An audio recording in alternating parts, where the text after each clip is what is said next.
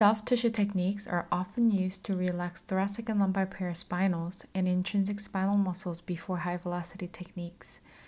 This video will review prone pressure. Let's start with the left paraspinals first. Patients should lie prone while physicians stand on the patient's right side. Physicians, contact your patient's paraspinals with your hands side by side. Now use just enough pressure to layer palpate through the skin down to the muscle layer.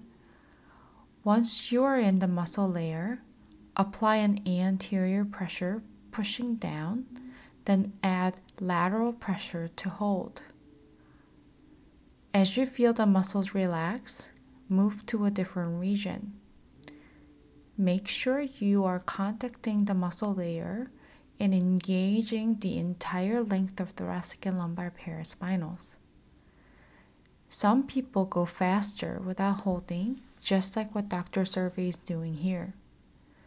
Once you're finished with the one side, move to the opposite side and repeat the procedure.